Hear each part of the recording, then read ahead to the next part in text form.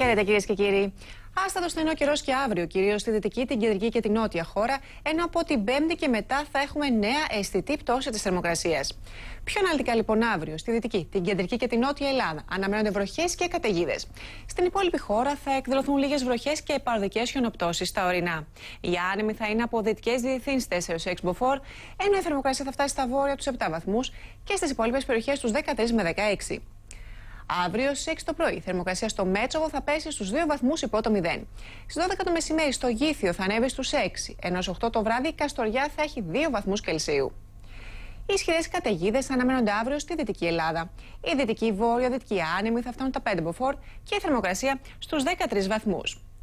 Στην Αττική θα αναπτυχθούν λίγες νεφώσεις που προοδευτικά θα πυκνώσουν και από το μεσημέρι θα εκδοθούν τοπικές βροχές και πιθανόν πρόσκαιρη καταιγίδα.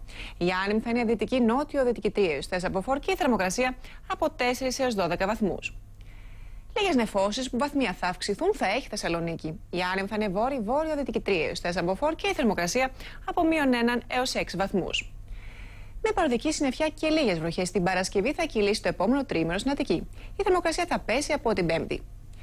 Βροχές ή χιονόνερο κατά περιόδους αναμένονται το επόμενο τριήμερο στη Θεσσαλονίκη. Τοπικές νεφώσεις αύριο στην κεντρική και τη βόρεια Ελλάδα, με βροχές στα κεντρικά ορεινά και μέγιστη θερμοκρασία τους 10 βαθμούς στην Καβάλα.